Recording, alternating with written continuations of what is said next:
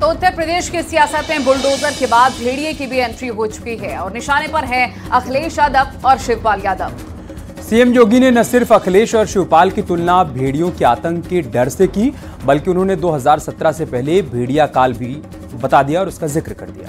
CM योगी ने कहा आज भेड़िए उत्पात मचा रहे हैं। 2017 से पहले चाचा भतीजे का उत्पात हुआ करता था। तो अखिलेश यादव ने कहा कि सरकार अपनी नाकामी को छिपा रही है। सरकार भेड़िए से लोगों को बचा नहीं पा रही। सीएम योगी ने वसूली का ज़िक्र किया तो अखिलेश यादव ने भी पुराने रिकॉर्ड खंगालने शुरू कर दिए और कई बड़ी बातें कही हैं। आपको सुनवाते हैं।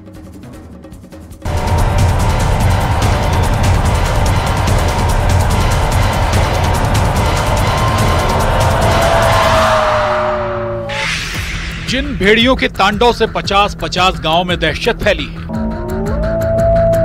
जिस भेड़िए के आतंक से बच्चा बच्चा डरा सहमा है अब उस भेड़िए पर उत्तर प्रदेश की सियासत आक्रामक हो चुकी है। नहीं देखिए जान इसलिए जा रही है क्योंकि सरकार काम नहीं कर रही है। सरकार को काम करना चाहिए इस पे भी कि जहाँ इस तरह की घटना हो रही है सरकार अपना पूरा विभाग लगाए और बच्चों की और परिवारों की जान बचाए। अखिलेश यादव ने जैसे ही आदमखोर भेड़ियों को यूपी की सियासत में एंटर करवाया वैसे ही योगी ने जुबानी एनकाउंटर कर दिया। सीएम योगी ने भेड़ियों के आतंक को समाजवादी पार्टी के शासनकाल से जोड़ दिया और बता दिया कैसे 2017 से पहले सियासी भेड़िए उत्पात मचा रहे थे। चाचा भतीजे में होड़ लगती थी वसूली को लेकर के। कौन कितना वसूल कर ले? एरिया बटे हुए थे। मैं देख रहा हूँ ना इस समय, कुछ आदमखोर भेड़िया प्रदेश के अंदर अलग अलग जनपदों में उत्पात मचा रहे हैं। और कमोबेश यही स्थिति 2017 के पहले प्रदेश की थी। ये लोग उस समय कितनी तबाही मचाए हुए थे, किसी से छुपा हुआ नहीं है। और इनके भी एरिया बटे हुए थे वसूली के। कहीं चाचा, कहीं भतीजे, महाभारत के सारे रिश्ते थे। सारे रिश्ते। फेल हो जाएगा। महाभारत का दूसरा दृश्य वहाँ देखने को मिलता था। सीएम योगी ने न सिर्फ़ समाजवादी पार्टी के शासनकाल को भेड़ियों की दहशत से जोड़ा बल्कि उन्होंने अखिलेश यादव और शिवपाल यादव को भी निशाने पर ले लिया।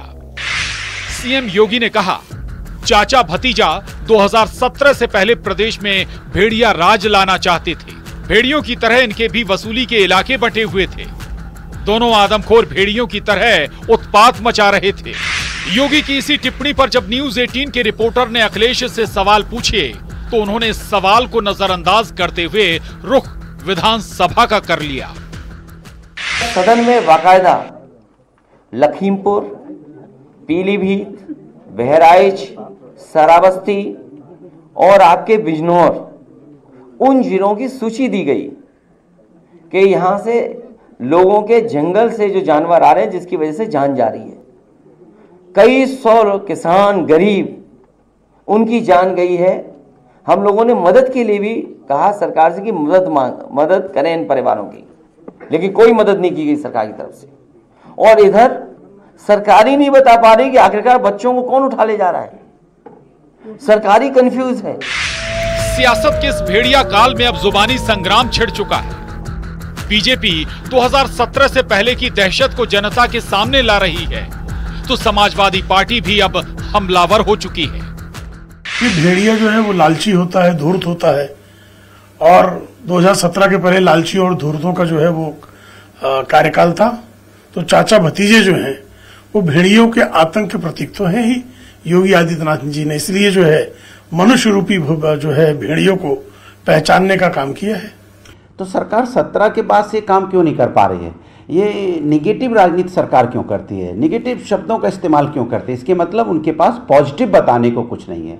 जब पॉजिटिव बताने को नहीं होता है, जब आप समाज के अंदर में बढ़ते हुए करप्शन को नहीं रोक पा रहे हो लॉ ऑर्डर मेंटेन नहीं हो पा रहा है, समाज में आप बेरोजगारी दूर नहीं कर पा रहे हो, महिला पे अत्याचार बढ़ता चला जा रहा है, तब आप पिछली सरकारों को, के ऊपर एक निगेटिविटी थोपने की कोशिश करते हो। यानी जिस भेड़िए को निपटाने के लिए वन विभाग समेत यूपी पुलिस दल बल के साथ खेत खलिहानों की खाक छान रही है। अब उसी भेड़िए की दहशत पर सियासत भी जमकर हो रही है।